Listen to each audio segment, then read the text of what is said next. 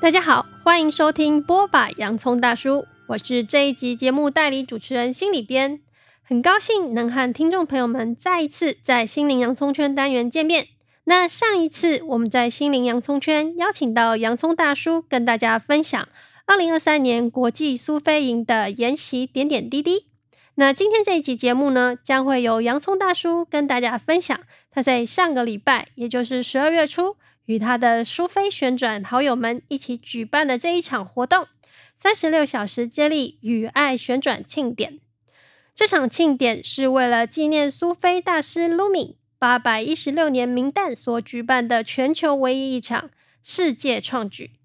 赶快邀请洋葱大叔来跟我们分享活动两天令人难忘的经典片刻。欢迎洋葱大叔！嗨，各位波霸洋葱大叔的听众们，大家好。嗯，其实，在这一集录音的时间呢，活动才刚刚落幕。趁着记忆犹新的时候，赶快邀请洋葱大叔来跟大家聊聊这一次精彩的活动的一些片刻。那有一些听众可能第一次听到洋葱大叔聊苏菲旋转，还是想要先请大叔来跟我们分享，说当初是怎么开始接触苏菲旋转这个途径的呢？你说的没错哈，因为刚刚活动才刚刚顺利圆满结束嘛，对，所以这两天哦，其实都还在整个在那个三十六小时的那个从白天到晚上，晚上到白天的 那个整个过程里，然后我觉得满满的那种感动跟画面呐，是，所以那个能量的状态好像持续都一直还没有还没有退啊，所以我现在包括现在在说话。很多的那种触动，很多的那个呃一些，反正它一直都涌现，然后我会觉得呃整个让我觉得到现在能量还是饱满的，所以也刚好趁你这样的一个访谈，我可以好好跟大家分享。太棒了！那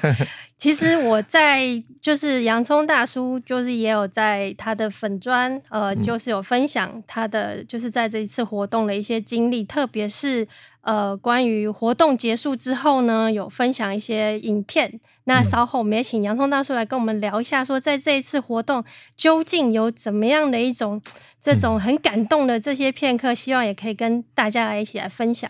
嗯，那所以你刚刚第一个问到说，嗯，当初这一切的这个源头是怎么发生嘛？对对。那其实呃，简单的会说，就是大概应该在两千年左右，那时候。历经就是我人生一个比较大的困顿，然后我内心有很大的恐惧。后来发现这个恐惧就是害怕蜂巢有一天会倒掉。那这样的恐惧，然后再加上呃公司我们人也渐渐增多嘛，然后所以我觉得在不管在内跟外压力很大，然后很多事情都发现好像都遇到一个很大的瓶颈。那我就开始想要寻找一些途径。来来帮助自己，嗯，后来在朋友的好朋友的介绍之下，到了印度去开始接触心灵方面的深入的课程，嗯，那在这接触这些课程中，哎，突然有一天在佛堂看到一群人在旋转，是，那他们在旋转是在移动，但是我怎么感觉他们的移动过程中有一份很深的宁静，这个宁静里面让我感觉到有一份很。很很稳的那种安定感，我就我就知道啊，那个东西很触动我，然后我当下就试着旋转，结果转了一圈就跌倒。后来隔年我又再去，然后呃又看到不同的一群人在佛堂旋转，嗯，然后又我试转转了三圈又跌倒，所以那个那种跌倒的那种就是沮丧啊，那种觉得哎呦怎么这个旋转这么困难，当然会让我有一点退缩。可是另外一个声音。他不断的告诉我，就是那个渴望，就是我想要经历这些人，为什么他们旋转中会有那一份那么宁静的品质？嗯，而且这个正恰恰就是我遇到的，我说的我内内心那么大的焦虑、恐惧那个部分没有办法感觉到那份安定感。我觉得透过想要深入苏菲旋转这个途径，希望能够找到那个稳定哦安定。后来机缘巧在二零零三年就跟着我。一路上，这个呃的一个伙伴叫 Rafika，我们就到了空亚，嗯，哦，就是在我们的一个意大利老师 Vidya 带领之下，哇，到了那个空亚现场，那是那个路米大师，就是苏菲旋转的教派哦，他们传承从八百多年前开始把这个旋转融入他们的教义，到现在已经有八百多年，这个持续在目前的土耳其空亚还在发生，哇。哇！然后那个发生就是在那边嗯跟他们一起生活，一起旋转，一起做一些仪式。然后那一趟回来台湾，我几乎可以说用四个字叫做脱胎换骨。哇哇！原先我旋转还会有一点 晕，还会有点不稳定，可是回来之后，我发现哦，我好像好像找到了那个，你知道那个就是好像你练功，好像就是是很自然，就是哇，你 you got it，就是你那个开窍了。哦，然后就进入，然后那时候开始旋转，就非常非常稳定，内心也那份安定感也慢慢找回来。哇，嗯这样听洋葱大叔这样分享，好像大概可以领略到，就是说，嗯就是找到以前有一个广告说，就是那个光哦，有点像是找到内心的那个安定跟那个光的感觉。所以，嗯，如果大家对于这一段经历啊，想要再听更多的话，欢迎大家去收听。呃，波把洋葱大叔的第五集跟第三十七集，洋葱大叔跟 Rafika 老师都有在帮我们分享这一段回忆哦。好，那因为今年呢是卢米大师的明旦两八百一十六年，那洋葱大叔和苏菲好友们一起举办了这一场苏菲旋转接力三十六小时活动。不过当初为什么会想要举办这样的纪念仪式啊？这个卢米大师对于苏菲旋转的这些朋友们的一些意义呢，还有这个活动的意义，是不是也可以请洋葱大叔来跟我们分享一下？嗯、就像我刚刚讲的说，是因为这个传承八百多年都没有间断，那每年的十二月啊、他们都会在空亚啊，土耳其空亚这个城市举办为期一个月的庆典。是哇，一个月呃，一般一个月应该是陆续，那整整应该最重要是一周，大概在十二月十号到十七号。哦，那尤其在十七号最后，就是他们有一个就是刚好那个、嗯一个很重要的一个仪式哦，是包括就很多的，包括大家会在一起可能吟唱啊，然后旋转这些。嗯好，那为什么在台湾要举办这个活动？就是因为刚刚讲，我从零三年然后去了土耳其回来之后，我觉得。收到太大的礼物了，我自己能够那么深的进入那个安定旋转那么自在，然后我就会跟 Rafika 说，我们从哪边得到这样的一个资粮，这么一个很棒的给我们这样 support，我也希望这些东西能够在台湾让更多人能够呃能够体验啊，能够分享。那既然土耳其有这么样的八百多人传承，那我就在想，我们在台湾是否也从我们开始，嗯可以来象征性也好，或来办这样的一个活动？那从也就是大概应该从二零零四年开始，是我们这个活动一直办，办到现在，其实也将近就是二十年，从来没有间断。好厉害啊！那那大概就是都呃，主要都是八小时，只有在二零零七年如米八百周年的时候，我们办了一次三十六小时，后来就停下来，之后都八小时。到今年我们决定还要再办一次三十六小时，是这样子。嗯，不过三十六小时要一直转，真的也蛮挑战的呢。那所以旋转三十六小时，这个三十六，呃，这个数字是不是有特别的意义啊？没错，哦，它的意义非常的特别哦。是这个相传也是在应该也是这个传承也有 八百多年，就是对，Rumi 在呃，原来 Rumi 是一个传统的苏菲的教派，他原来是没有旋转的。后来有一天，他遇到了他人生很重要的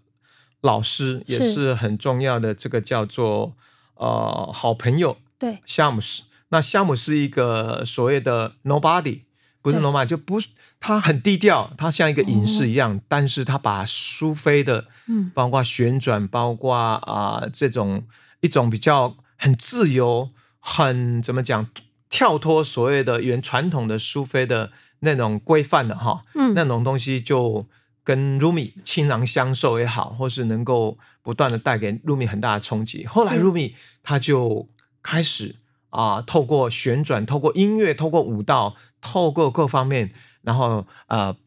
能融入在传统的教育，发展出一种新的、嗯，更强而有力的一种所谓的呃，我们讲的这种所谓的他们的静心或仪式。对，好，那那这个他一切的发生，他为什么他的故事很传奇？就是相传有一次啊，Rumi 就是到了市集，嗯，然后他就听到那个铁匠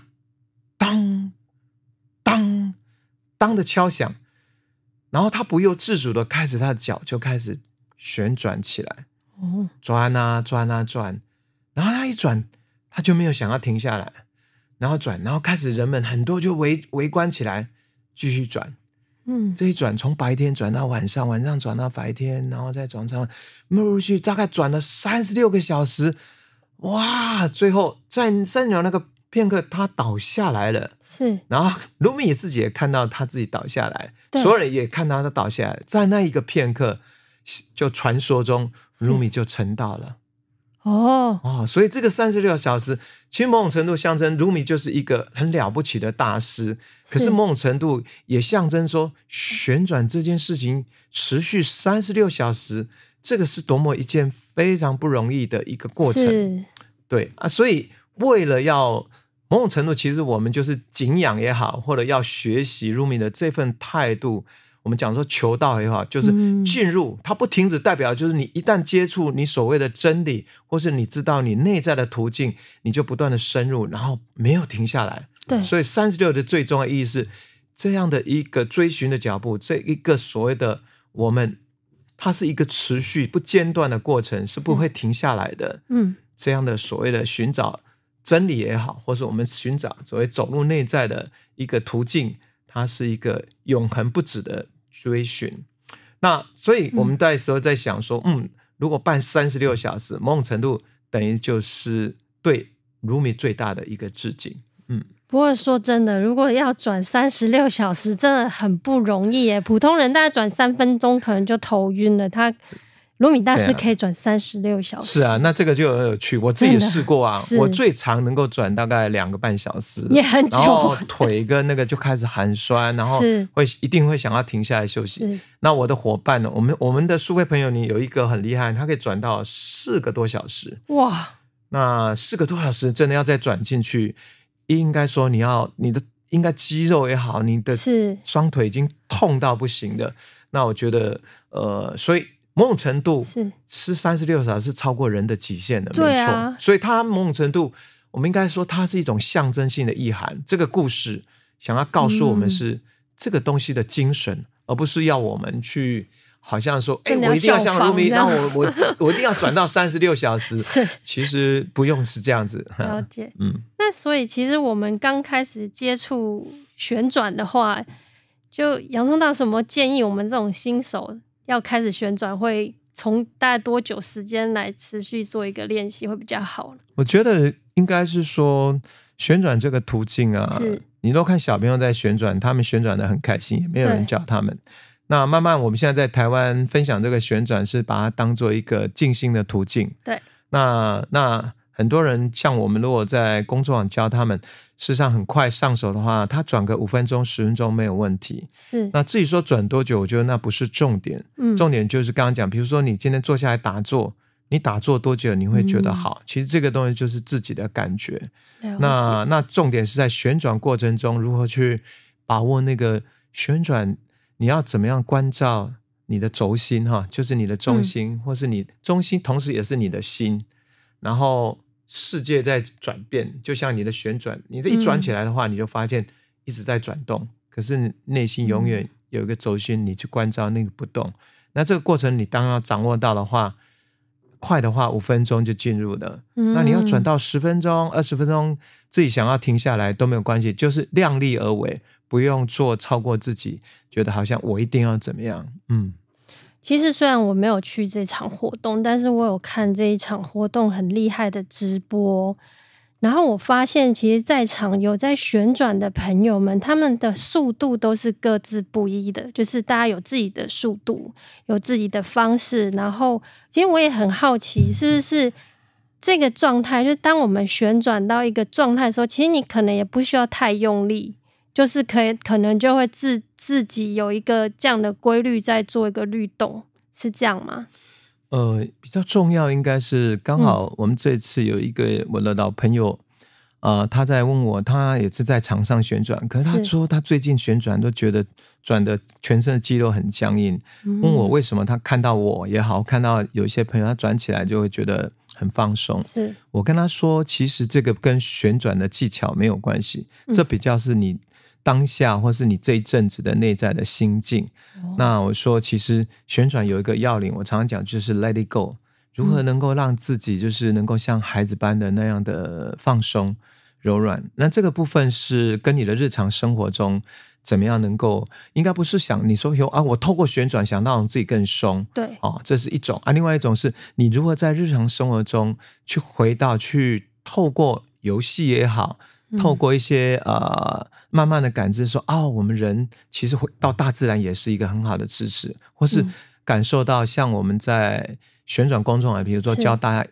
一起共同做一件事情，然后每一个人在团体里面觉得有一份支持，嗯，有一份安全感，他人就会松很多，嗯，大概我这样跟他讲过之后，哎，他就他就 get it，他就明白，然后他就觉得，哎，这样再下去旋转。人就会更更放松，所以旋转的途径应该是，如果你越能够在生活中，嗯，或是越能在大自然感觉到那一份安全感跟支持，你就越能够放松的旋转。那相对的，当你越放松旋转的话，你透过这样的练习持续，就好比说二十年前的我跟现在旋转最大不同，当然你的身体，因为它已经内化，旋转已经成为你内在。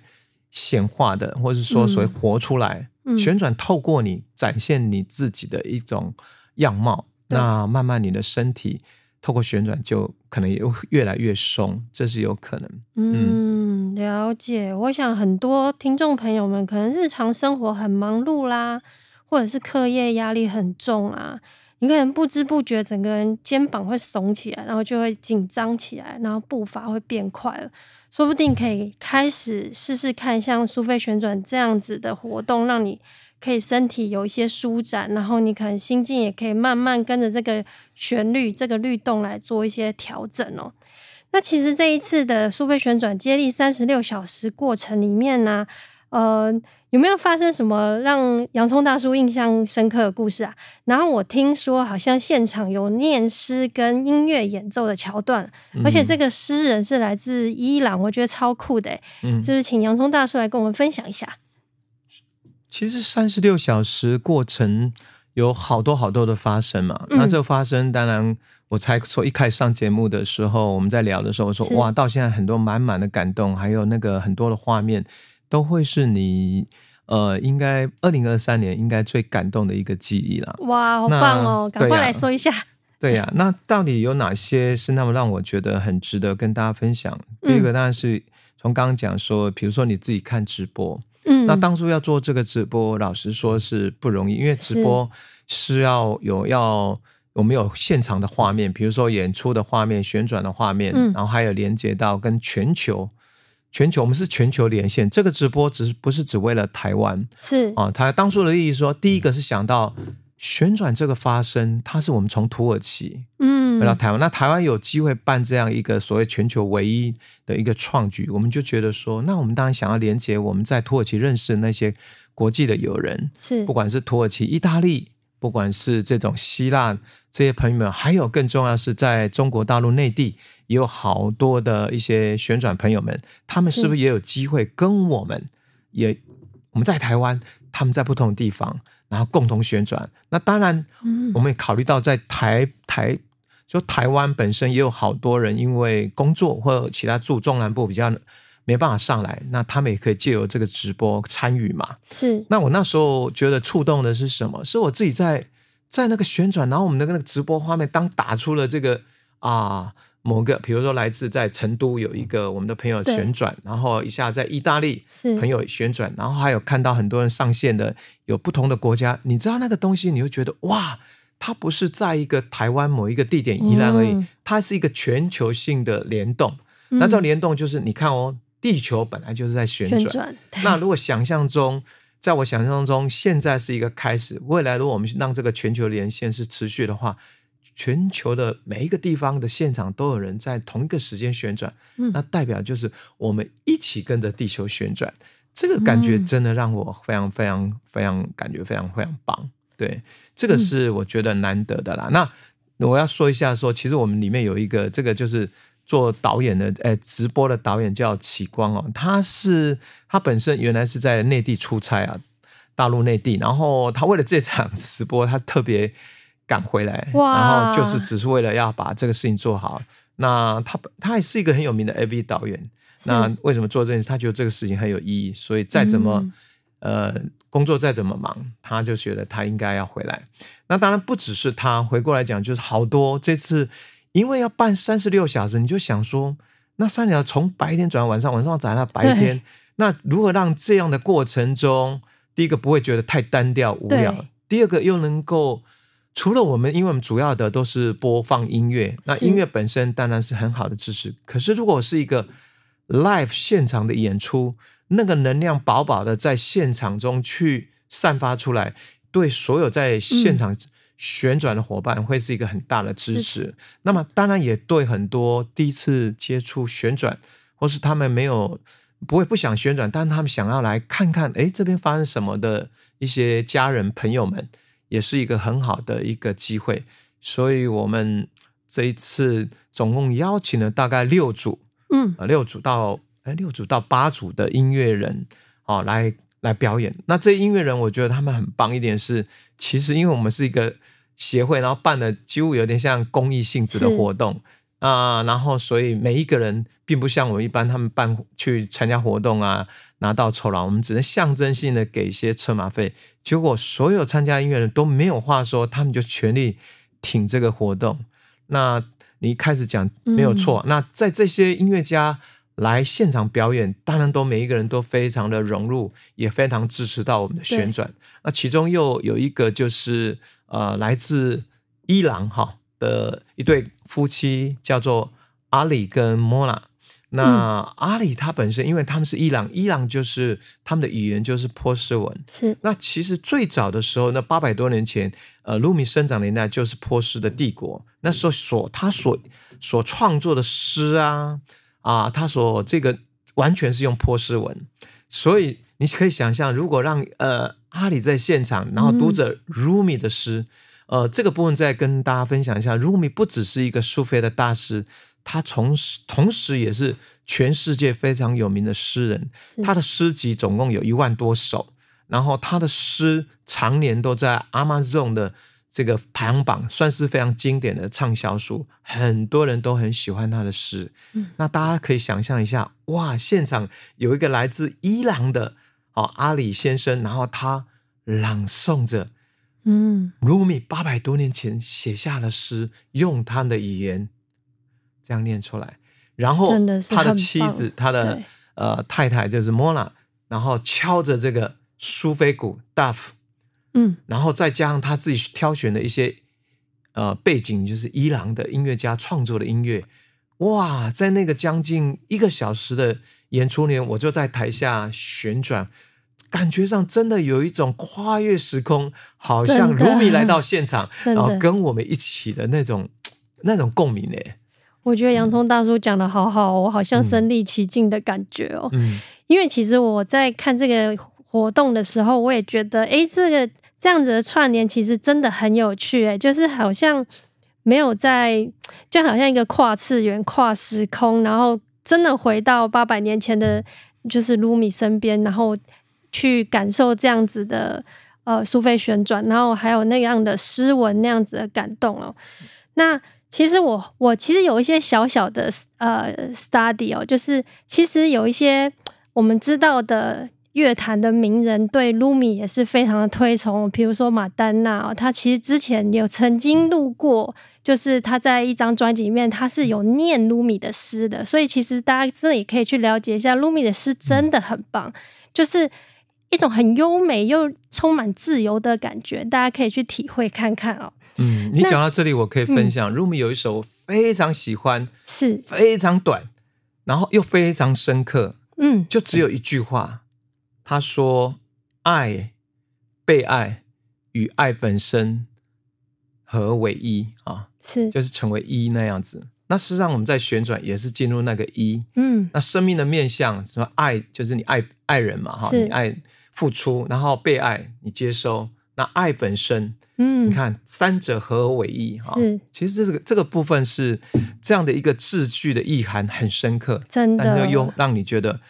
其实我们在经验苏菲选或所有在做三十六小时这样的 event 里面，这个过程都在体现这三个面向，最后就是合为那个一的一个过程。是，真的，这感触真的很深哦。大家也可以体会看看哦。嗯，那其实大叔的脸书也有特别分享跟大家一起擦地板的影片啊，然后小编在这个过程就是也觉得，哎、好像真的很有趣，就大家一起嘿咻嘿咻，一直自己在擦地板哦。我们想请洋葱大叔跟我们分享这一段回忆好吗？对啊，要办一个活动真的很不容易，而且这不是说，比如说蜂巢因为，我带着蜂巢同仁变成像一个工作或是一个公司的一个一个事业嘛，它是一个比较像一个公益，或是像我们的呃这种活动啊活动。怎么讲？这种活动必须找来来自就是我们的书费好友们，大家是来自不同的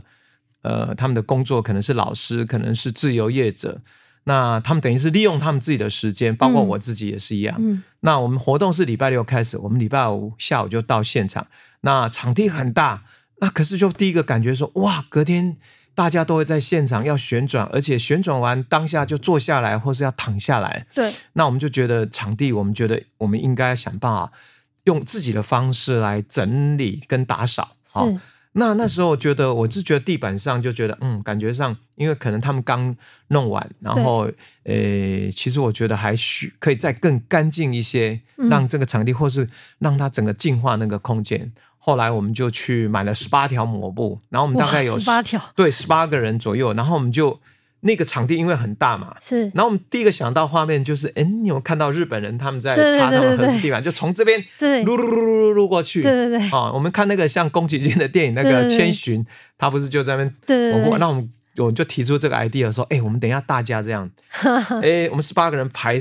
排个排个十八人为一个队形嘛，哈，那每一个抹布抹布大小大概就三十公分，然后我们这样推过去，再推过来，那这样大概就可以完成大概可能诶三分之一，然后之后再来再一次，然后之后再一次，这样总共大概推那个五六次应该就可以。然后所以大家你可以想男男女女，然后都来自不同嗯岗位，然后我们就从这一头到那一头，大概有应该有二二十公尺，应该有，是真的有。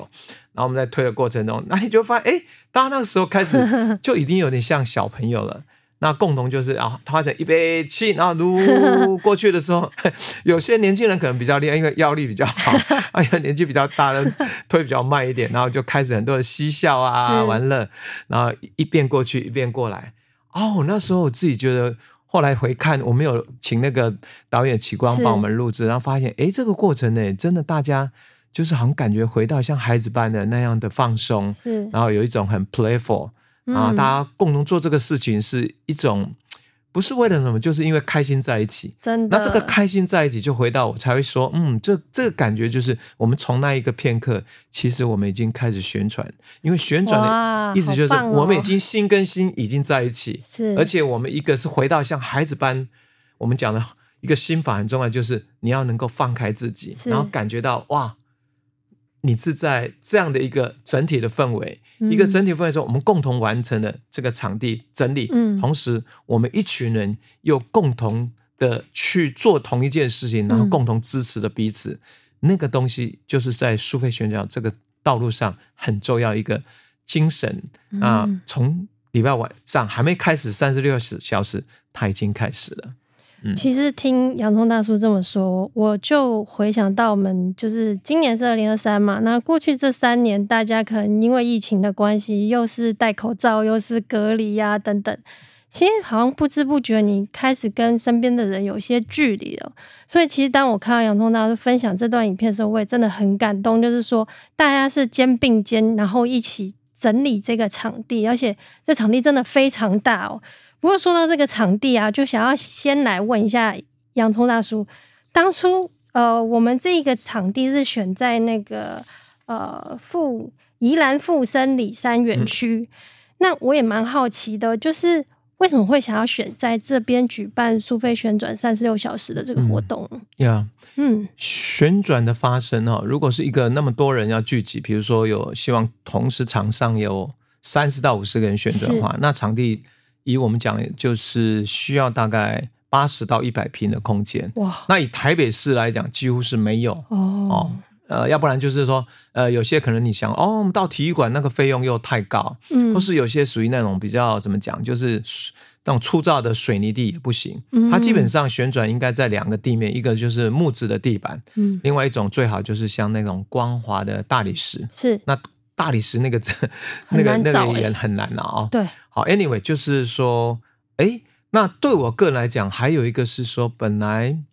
旋转就是一个静心的一个很重要的聚会。对，如果能够在一个安静的，特别是在大自然的场域，就特别好。那我觉得应该是在半年前，呃，跟富兰朵啊这边其实。我们都一直有保持联系，而且富兰多难得是他们把旋转啊这样的一个内容带入他们的一种，好像呃他们的不管在富兰多里，诶这个所谓的乌来哈，他们有让那个来来他们的住宿泡汤，然后里面还有包括节目的观赏，导入像类似幽人神鼓的演出啊那种击鼓，然后还有苏菲旋转仪式，还有颂钵等等。所以他们本身就在做事情，然后后来有一次他邀约，呃，我跟 Rafika，然后到这个他们新的这个地方叫富森里山，是，然后去住一晚。我第一个就被那个地方，我爱上那个地方，原因是因为说，因为我本身就很喜欢大自然，对。然后那个场域就是在雪山山脉底下，哇，然后那个空气环境真的非常好。早上我记得走入森林，然后有好多好多我没见过的蕨类啊。有的是野生，有的是他们也在那边栽培，嗯，然后好多那个他们有那个猎野野生动物的那个嘛足迹，是，然后你从那个地方，因为它是原先是在宜兰一个叫做螃蟹博物馆，嗯，然后它那个位置又有点像呃，在一个呃山区里面，然后斜坡慢慢往上，你慢慢走走到上面，哇，可以看到整个龟山岛跟哇南洋平原，视野很辽阔，嗯，所以。好，那我们回到那时候邀请我们在那边，我就发现那那一栋建筑主要是安排住宿一到三楼，那四楼他们原来就是好像没有在用，丢在顶楼嘛当个仓库。我就跟他们董事长建议说，如果这个地方能够来做一个啊，能够有这么大空间，那不只是呃。如果用地板的话，木质地板的话，不只是苏菲哦，包括像瑜伽，是包括很多灵性课程，包括很多国际老师如果来的话，嗯，能够在这里举行，我想他们应该可以感受台湾真的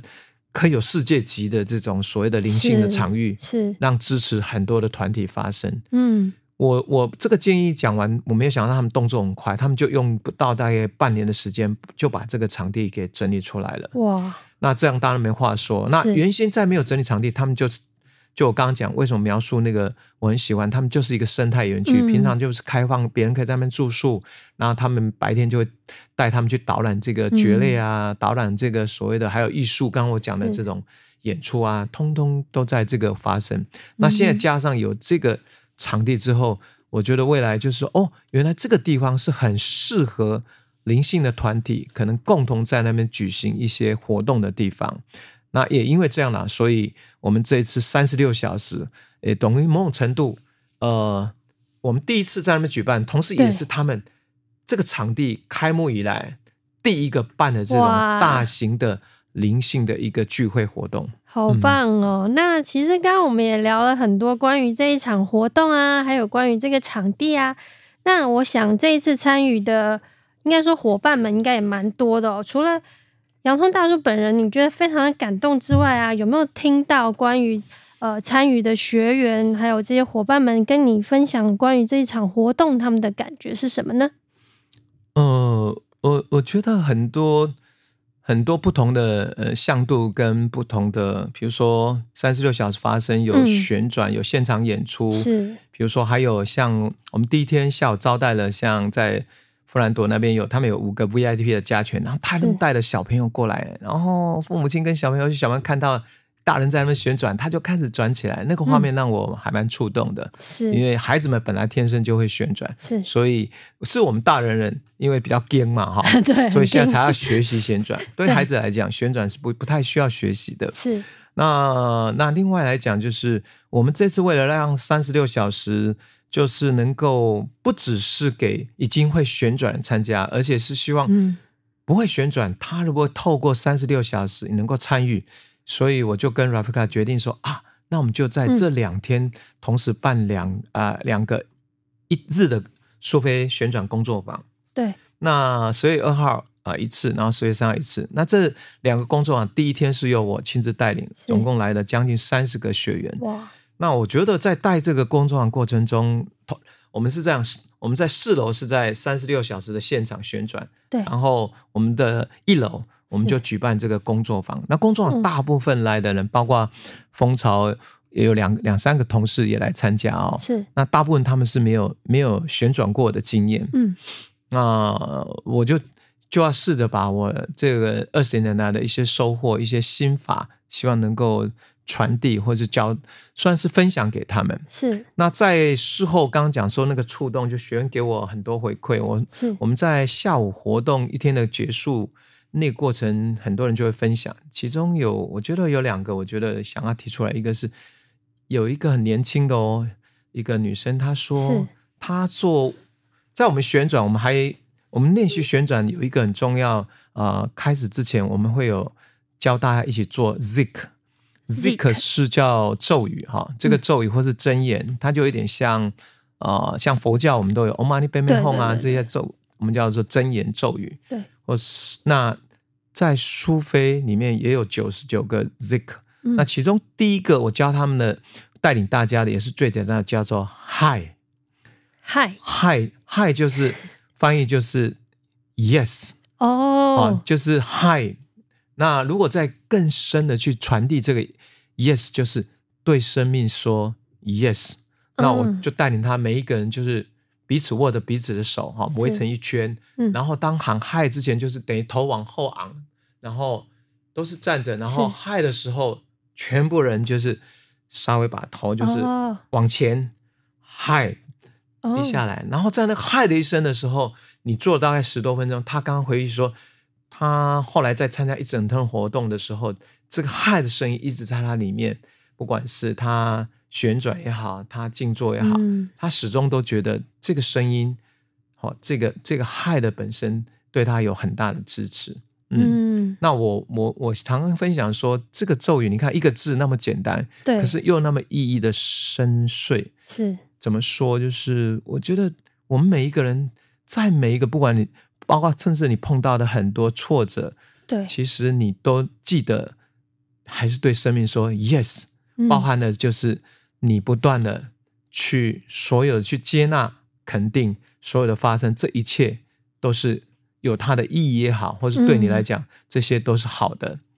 对生命说，不管发生什么事情，对生命说 yes。好，另外一个我带他们做的是，我们两两相对，然后。一起做，然后眼睛要看着彼此。对，然后做的时候是双手先抱着自己的在胸前，然后念出这个咒语叫呀阿 zim，呀阿 zim，呀呀阿 zim，呀。那当你讲呀阿 zim 的时候，双手打开，然后看着对方的眼睛。你知道这个咒语，我非常非常爱这个咒语，尤其像我们这一次在北翼啊，我们就是在大自然里面，然后对着对着山，对着溪水。对着包括我们的伙伴说着亚阿 zim，那亚阿 zim 是什么？它的意涵就是叫存在透过你是如此的美丽啊！哇，你知道这个咒语，好多人他们好喜欢，喜欢到会回来跟我讲说，他们被这个咒语深深的感动，然后也觉得自己是这么的美好。你知道这个咒语不只是鼓舞的别人，也鼓舞着自己，而且它它是。他这个简单一句话，然后就回到我。我记得我非常喜欢的一个大师说过，其实我觉得每一个人，我也每次在分享，就我们每一个人在世上都是独一无二的。是，就像一朵野花，我常常讲，一朵野花，它就独自绽放，没有别人看它，对不对？它一样开的很灿烂、很美丽啊。对，所以那个活出生命中的精彩是由自己定义的，而不是说别人觉得你好不好。那我就简单一句话，就是你本来就是独一无二。你就是非常非常美丽，然后再透过那个练习，我想大家更能够感受，不只是自己的美丽，也看到别人的美丽，然后我们就看到整体在一起的那份美丽。哇！听完大叔这一番分享，觉得。很像醍醐灌顶啊！对啊，然后还有还有 还有，我们就是你看，我们办三十六小时要办的话，那很多人就是包括我，我们旋转大概都会超过我们平常的量。想象三十六小时旋转接力马拉松什么意思？他如果以马拉松全马的话，大概应该是六到八个马全马拉松。那以我我这样三六算下来，我一天我大概两天加下来。我大概旋转应该超过十个小时以上。哇，对，真的真的。那我们其他同伴当然也是，有人八小时，有人十二个小时不等。嗯，哦，那怎么办？那我就想说，哇，这个活动如果是这样的话，那有没有安排什么东西可以帮这些加油？因为我们是排帮舒压，就我们就设了一个 按摩工作室，然好后要来我两个很棒的朋友，就是伦伦跟佩华，他们就在帮忙，就是大家好像有点你想跑马拉松 转转转累的时候，可以进去稍微把那个腿啊腿部的经络舒缓然后在那二十分钟，他可能好好的休息，休息之后，然后再出发。结果后来也是这些旋转道的朋友，他们跑来跟我说，就是他们觉得有这个按摩这二三十分钟的支持，让他们可以这样继续觉得这个好棒哦。所以我后来就跟他们说，以后只要我们办 不管八小时、三十，我们都要设有这个叫做。按摩马拉松，这个马拉松是什么？就是马是马一样嘛，拉就是拉筋的拉，松就是松马放松，马对拉松马拉松这样帮助大家放松，然后就休息后再出发。这个也我觉得也很棒嘛。然后再来，当然就是嗯我也觉得看到，我我觉得有一个部分就是，嗯嗯，刚刚我们说孩子们参与，对，其实，在我们现在一边在宣传，我们觉得，哎，孩子们，呃，其实是他是本来就是我们最宝贵的礼物。其实从孩子身上，他尤其他们在旋转，你你就如果能够感受看到孩子那一份放松，其实你就能够体会旋转的要义。所以，呃，看着父母亲，我刚刚讲第一天下午，还有第二天，像我的好朋友那个呃那个 TED 的这个呃呃创办人夫妻，他们 TED 呃就是 Prin 跟 Deal，他们就带着他们两个小孩。是呃，然后就到现场，然后孩子们到了现场，呃，当然他们也是喜欢，就是跟大家就坐在那边聊天，特别喜欢吃东西。可是他们看大人转，他们也会跟着下来转，或是他们在那个时候，等于从小就看到这群人在做什么，或许嗯。他们不了解，嗯。可是他们也慢慢的好像就在那种氛围里面嗯。耳濡目染嘛。嗯，那我就常会想说啊，这就是未来的苏菲第二代，希望未来能够接棒跟传承。是。这个我想大家也蛮触动。反正整个这个三十六小时，最后在我想大家就是在结束，我们围成一圈嘛，然后我们同时大家就给自己彼此拥抱，还有很大的鼓励跟呃那个那个开心的庆祝。哦，那时候我记得我们就来一个三个爱的鼓励，这样噔噔噔 噔噔噔噔噔噔，真的不容易，但我们真的都顺利圆满完成、那一刻的。好像你就好像跑一个啊接力马拉松松完成的话，那样的一种欣喜。然后我觉得重点不是到达终点，而是嗯那个过程中，从我们开始一起在擦地板之前，我们筹划这个已经有半年多哎。嗯，那么有先从我们大概三四个人投入，然后到后来十多个人，然后最后现在总共加起来一百多人次嘛，完成这样的一个。我觉得过程真的太值得珍惜，也太令人深刻了。是所以这些都是点点滴滴在心头啦，这样子。哇，嗯刚刚洋葱大叔分享的这些都好精彩哦。嗯我想要就是特别回应，就刚刚杨呃洋葱大叔有说到，就是跟生命说是这件事情哦。因为我想，可能大家在日常生活中或多或少都会有一些可能不是那么顺遂啦，但是有的人可能会因为内心很恐惧，说啊怎么办呢？我这个东西错了啊，怎么办呢？我可能错失了什么东西。可是其实我们在之前的节目也有邀请到怀慈老师来为我们念卢米大师的诗嘛，就是对生命说是的这样子的精神。其实我们虽然是这样很浅显的跟大家分享这一次三十六小时的苏菲旋转，其实在这个谈话里面呢，我想洋葱大叔也跟大家分享了很多这些。看似很平淡，但它其实是对你的生命是有很多很多启发的一种一种分享。我想大家可以慢慢的重复听一下这一集，你可能会有有很多不同的感觉会出来，你可能可以有一些呃想法，也很欢迎在这一集底下留言跟我们互动哦。嗯那除了这一次的苏菲旋转三十六小时活动，还有之前您提过，就是之前有提也也有办过这个三十六小时的这个旋转接力活动。那洋葱大叔还有没有参加过其他关于呃比较特别的卢米大师的纪念仪式啊？嗯，嗯我前后回去了土耳其七次嘛，是那这七次的就是就是在十二月份的这个 Rumi 的庆典。是那我简单的还是讲一下 Rumi 庆典，就是它的发生为什么会让我想台湾办这个活动，而且还加入了。后来不是现在邀了六个八个音乐团体来参加，对，就是我发现原来那个是一个灵性的 event 哈，一个活动，然后每年的十二月十号到十七号，然后在空亚，那第一个就它吸引了来自全世界各地的苏菲团体，都是所谓的呃苏菲教派也好，或者喜欢苏菲旋转的朋友们汇集到空雅这个城市，然后那一个城市里面大概你可以想象说它不大，可能 maybe 就是。呃，用台北嘛，不不见得，应该用比较小一点的感觉，就是反正不是很大的城市。那你可以大概在七八个或者十个以上空间，然后不断的都有这个所谓的呃，大家聚在一起，一起干嘛？一起就就是唱诵 zik，然后一起旋转。嗯，然后之后在十七号的时候，所有人会师聚集在 Rumi 的博物馆，然后共同做 zik。然后共同旋转，然后来用这样态度来纪念 Rumi 嘛，哈，嗯，那我说这样的活动本身就是一个非常难得。然后有好几年，他们甚至就为了因为 Rumi 这个活动，他们举办了叫 Mystic Music Festival，嗯，一个神秘的音乐节，邀请了世界各地的不同呃的灵性的一种音乐的表演，包括印度。嗯包括这个非洲，包括呃这个其他国家，像阿拉伯的其他国家过来。那我觉得这个东西会让我启发说呀，其实我知道在全世界各地，包括我二月份即将要去参加的一个灵性音乐节，还有我之前去过呃这个摩洛哥，对，它有一个神秘音乐节。那我觉得神秘音乐节的意义，其实它就是基本上就是灵性音乐节，然后又刚好在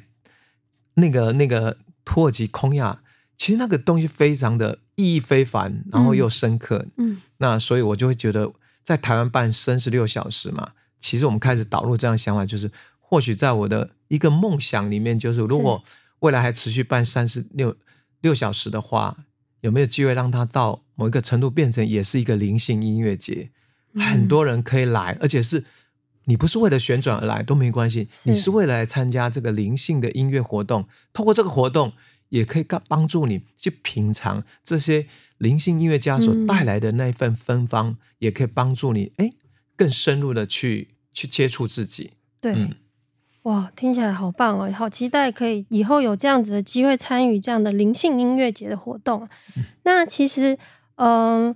我在看洋葱大叔他的这个粉砖有有在分享这个影片，就是说每一年呢，这就是每一次这个苏菲旋转接力三十六小时之后，都会播放一首这个关于西蒙鸟的这首一张专辑。那我本身也是很喜欢西蒙鸟这张专辑的，但听说好像西蒙鸟这个是这个是有一个典故，有一个故事的，是不是可以请洋葱大叔来跟我们说一下这个故事是什么？嗯，呃，就我们从二零零零四办到现在二十年，然后呃，仪式总会有一个就是很特别的，对我们来讲是一个纪念，或是一个在这个活动的尾声，我们以什么方式来纪念也好，或来。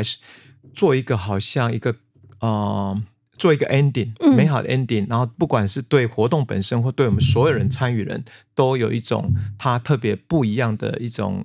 意义的哈。对，那会选择《西蒙鸟》这张音乐专辑，呃，当然就像你讲刚才讲这个本身音乐真的就非常好听，真的很好听。那这个专辑它是意大利的一个。很特别的一个两个男生叫 Radio Davis，你看他取这个名字就叫做 Radio 就是收音机嘛，Davis 就是托波针，所以收音机的托波针就是他们希望透过音乐来传达苏菲的那一份态度跟精神。好，那我们回到就是西蒙鸟，其实我觉得苏菲这个途径很有趣，大家都知道是它旋转，然后也大家知道 Rumi 的诗，可是。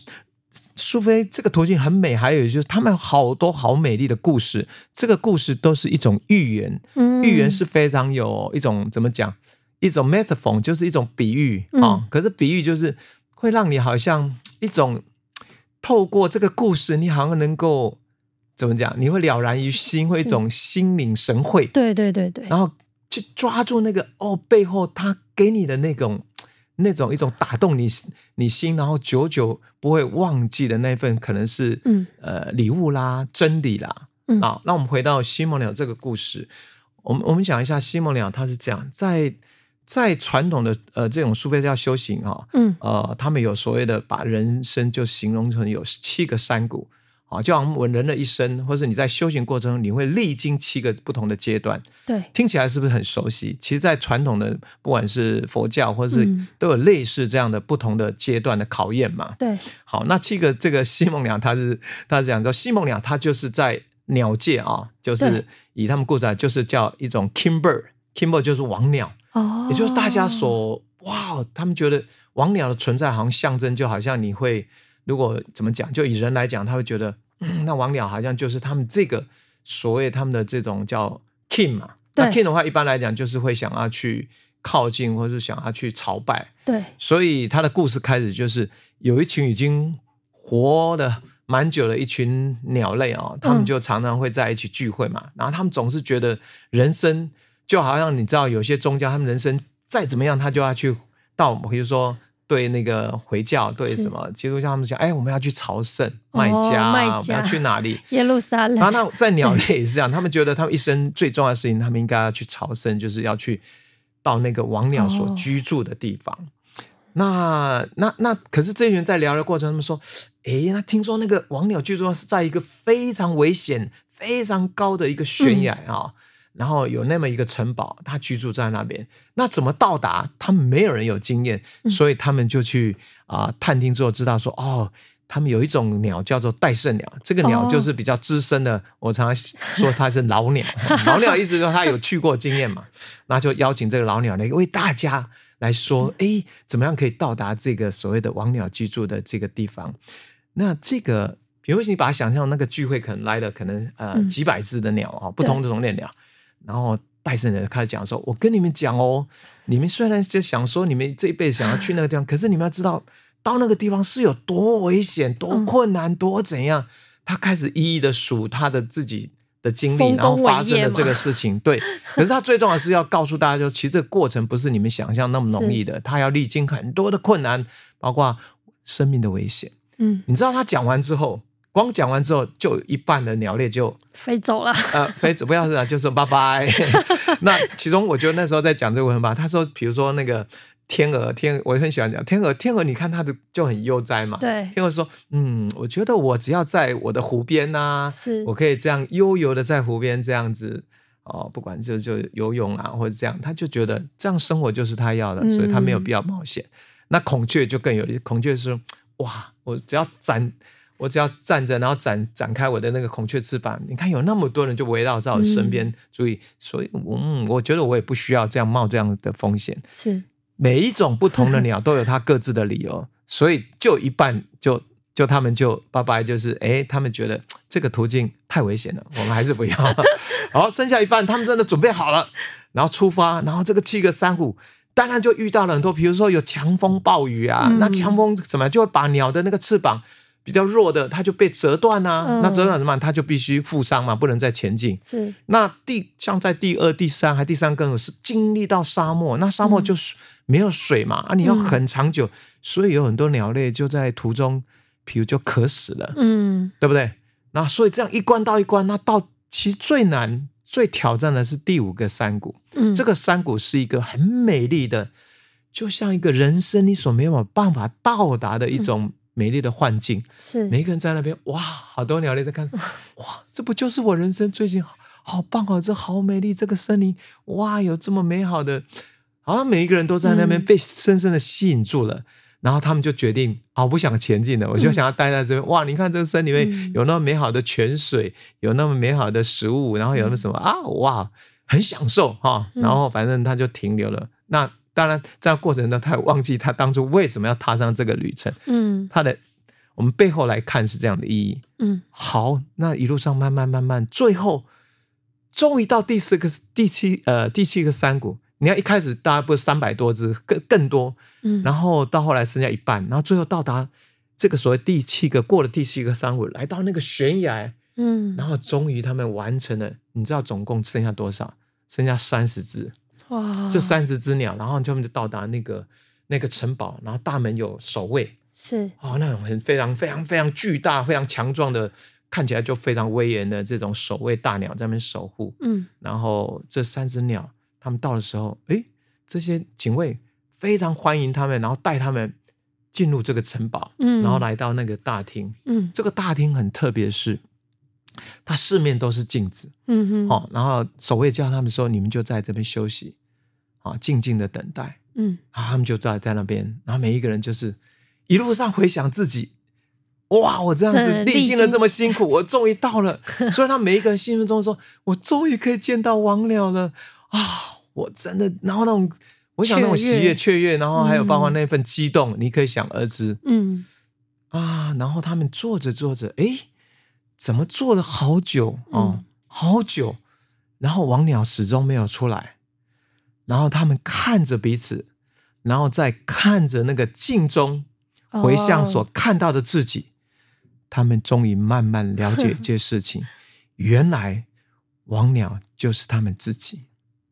好酷的一个故事哦。对，然后这个部分我我我，其实我每次在工作坊，我也会跟大家分享。我其实还有为什么我们刚刚回到我们刚刚主题，为什么会想要用西蒙鸟来作为我们的这个不管八小时、三十小时结束的一个最后的 ending 的一个音乐，或是一个所谓透过这个故事想传递说。其实我们不管是我们参与各种活动或走内在途径，其实就像在这些鸟在追寻王鸟的过程啊。对，那我们总是觉得我们要到达一个地方，然后我们需要别人肯定。嗯可是慢慢你会发现，其实真正最后，王鸟就是自己，就是其实你 you are the king bird of yourself，你就是你自己心中的王鸟。然后你这王鸟什么意思？你能够透过这样的一个艰辛的旅程，当你到达的时候，你就是找到最初跟最真实的自己。嗯，这个部分，那个那份态度跟精神，其实才是我们在这个活动里面想要真正传达的，嗯给每一个人。在灵性这个途径中，在苏菲旋转这样的道路中，其实都要带领我们走向追追出我们内在的源头，那个最初跟真实的自己。嗯。当你到达这个源头，其实你就是你自己的 king。嗯。在我们苏菲有个咒咒语架叫做，哎呀，那个咒语我差有点忘记，其他的就是 I am the king。嗯。那女生就是 I am the queen，、哦，我就是国王，我就是皇后，嗯。或是你要拜年的时候是，就是你就是你心中自己的最最伟大的，或是最最好的、最棒的，嗯某种意思意涵，它就是这样子。嗯那我觉得这个东西其实也是想传递给每一个人。实际上，追求最后其实最重要的那个礼物，就是在你的内心，那个就是你、嗯你自己，而且那真自己是无可取代的。所以，这个西蒙鸟故事就会成为我们三十六小时一个很重要的，呃，从音乐也好，从故事的传承来讲，都不断的在跟提醒，也启发我们，别忘记我们所做任何事情，我们这样一路上这个追寻，包括我自己这二十多年来，不过就是也是在走内在源头去发现嗯。那份最初最真实自己的那个那份那份所谓内在的一个泉源。是。嗯，听完洋葱大叔分享完，真的有一种想要哭的感触。诶，就是嗯我发现很多人真的都生活过得好努力，包括我自己也是哦，就是很努力的在过自己要过的生活，很想要达到自己想要的生活，但是可能有的时候我们忽略掉我们在努力的那个过程，每一刻都是非常非常珍贵的，而且每一次每一次可能。多多少少会有一些挫折啦，有一些打击啦，或是一些考验呐。诶，你有没有发现，你好像都可以一个一个的度过这些难关？那其实最厉害的不是别人诶，是你自己诶，你让你自己可以过这一重重重重的关卡。所以，刚刚洋葱大叔分享这一个要去朝圣王鸟的这个故事，其实真的是一个一个非常寓意很深的一个故事哦。那其实，在听完这些故事之后啊，大家是不是对于苏菲旋转，对于这个苏菲旋转的所有的传统啦、历史啦，还有这些甚至像这样的寓言故事，有很多好奇的地方，是不是会很想要来参加这样子的苏菲旋转的活动呢？嗯那如果之后呃呃听众朋友听完这一集，或者是在上一次在活动结束之后，可能会还有一些朋友想要继续参与苏菲旋转的活动，是不是有一些呃机会，还是有一些工作坊可以让大家来做体验呢？嗯嗯、呃就是因为我们刚完成三十六小时嘛，对那我觉得很多人其实应该之后他们就已经在讲说，诶，他们想要进一步在能够参与苏菲旋转嗯更深入的可能是课程啊、活动。那我觉得还蛮幸运的是，呃，我刚刚从二十年前就一直带领我们苏菲旋转的老师叫 Videha。啊，他是意大利人，那他现在就是，其实就是我们不是九月份，我不是去北艺嘛？对对对然后参加他自己盖的哦，他盖的那个灵性的那个自己的一个算是中心。对，诶，那个，然后前两天他还送送那个传那个赖照片给我，他那个地方现在下大雪，哇，然后他那个村庄很有趣，大概有十几栋房子，大概只有住平常住只有哎大概五六个人而已。哇，那他自己一个人就住在那样地方，然后就在那边修行生活。嗯那难得是他一月份要来台湾，哇，好棒哦然后哦！只台湾待不到，应该不到十天，还两个礼拜。然后我就跟他商量说，我们可以来举办三天的工作坊，而且地点就是在我刚刚讲的这个富森里山，在那个嗯大自然、那个很能够让你感受到生命的美好气息的一个大自然场域，来共同一起。跟我跟 Rafika 还有我们嗯苏菲好友们一起来经历三天的这个苏菲旋转工作坊，嗯，所以当然有机会想要深入或想要接触苏菲的朋友们，这是一个非常好的机会。那如果错过了这次，那就等到二零二四年呃年底之前，或许我跟 Rafika 我们会看在台湾有没有机会再举办类似的活动。那也预告一下，我们明年应该五月份会再到这个大理，哦，大理会去开办，也会开办这样的一个苏菲旋转工作坊。但是对台湾的呃朋友来讲，可能就会稍微比较远一点。是，但是这个部分对内地啊，大陆内地可能是一个一个机会。嗯那因为我们这个节目也会有很多的内地的朋友，如果他们有机会听到的话，嗯也欢迎他们到时候啊呃收呃能够大概关注我们的讯息，然后以后有机会我们就有缘再见，然后共同来在苏菲旋转这个途径中共同相互的。啊、一起共共修，然后共同的鼓励，一起支持，然后共同前进，大概是这样子。哇，所以大家如果对苏菲旋转有兴趣的朋友们啊，真的要好好把握这次机会哦。听说是一月份，对不对？一月份的时间是的，一月份的那个五六日三天这样子。哦，太棒了，太棒了！那相关的讯息啊，就会呃，大家可以参考这一集的节目资讯栏跟蜂巢音乐心灵课程粉专的活动资讯。感恩洋葱大叔和听众朋友们的分享。洋葱大叔与他的苏菲好朋友们在二零二三年岁末举办的这一场美丽又特别的三十六小时苏菲旋转接力活动。未来洋葱大叔有参与类似的灵性活动或是学习，也会在节目中和大家分享。邀请大家持续锁定波把洋葱大叔哦。节目最后，邀请大家一起来收听一首由洋葱大叔创作的曲子，取名为《日出旅程》，收录在洋葱大叔二零二零年发表的专辑《六十十六》。在这张专辑中，可以一次听到洋葱大叔横跨二十年八首畅销单曲及三首新作品，再次推荐给大家。祝福大家在听完今天这一集节目，准备好你的心情，迈向二零二四年，需要动力往前的时候呢，记得随时回来收听播把洋葱大叔，特别是今天播出的这首曲子《日出旅程》，绝对让你动力满满哦。想要进一步了解苏菲旋转最新课程和活动，欢迎洽询蜂巢音乐心灵课程粉专，或是创梦大叔杨景聪粉专，欢迎大家的加入。感谢你的收听，播客平台的新朋友们，喜欢节目的话，欢迎订阅收听，欢迎追踪波把洋葱大叔 IG 与蜂巢音乐心灵课程粉砖。那我们下次见喽，拜拜拜拜